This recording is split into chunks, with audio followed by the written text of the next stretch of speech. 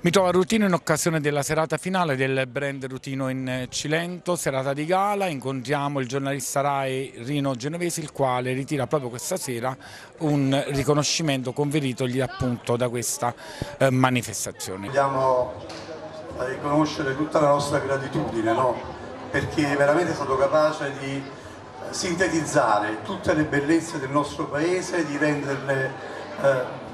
così belle, così accattivanti, così avvincenti che poi eh, ci ha fatto, sì, ha fatto sì che noi avessimo riconoscimenti da ogni dove, devo dire, veramente sei stato bravissimo e noi di questo ti ringraziamo, ma ti ringraziamo anche perché come giornalista sei impegnato tutti i giorni a scoprire le aree interne della Campania che noi consegniamo all'amico Rino Genovese come segno della nostra gratitudine e della nostra riconoscenza. Grazie, grazie, ovviamente sono è meravigliosa, ringrazio io te Giuseppe, voi comunità di Lutino, io non faccio nulla di straordinario in realtà, mi limito a raccontare la meraviglia che ci circonda, noi siamo fortunati perché abitiamo in un angolo di paradiso che si... Rutino come tutti i borghi del Cilento è un angolo di paradiso che compone la nostra meravigliosa regione Campania. Eh, io non mi meraviglio più della bellezza che mi circonda, ogni volta che vengo nel Cilento ma anche nel Vallo eh, di Diano, negli Alburni, eh, trovo delle particolarità che mi convincono sempre di più del fatto che possiamo veramente puntare sulla promozione turistica, sulla promozione ambientale, sulla promozione del nostro territorio per un futuro vero e grande di sviluppo delle nostre terre.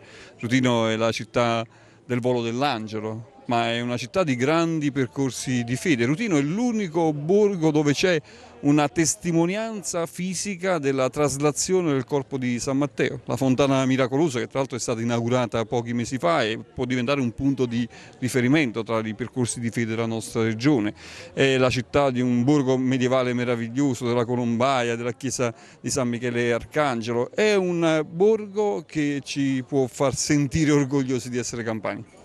non c'è nulla di più importante che promuovere il nostro territorio. Noi siamo fortunati, eh, siamo nati in un territorio che ci è stato consegnato dalla natura, che è stato costruito meraviglioso dai nostri avi, che è stato impreziosito dalle coltivazioni dei nostri contadini. Abbiamo il dovere, l'obbligo morale di farlo conoscere all'esterno. Io mi sto rendendo conto con il itinerante che basta semplicemente rappresentare, rappresentare bene i nostri territori per far innamorare letteralmente i nostri spettatori e quindi catalizzare turismo turismo nelle nostre zone. Il Cilento tra poco con l'inaugurazione dell'aeroporto di Ponte Cagnano che oggi si chiama anche Costa d'Amalfi Cilento diventerà davvero un luogo privilegiato per un turismo che diventerà anche internazionale, quindi bisogna prepararsi bene per essere appetibili anche dai grandi tour operator mondiali. Allora, voi avete scelto un nome meraviglioso che è quello di una terra meravigliosa che è il Cilento, allora di cuore un mondo, un mondo di in bocca al lupo e un saluto affettuosissimo a tutti gli amici di Cilento Channel.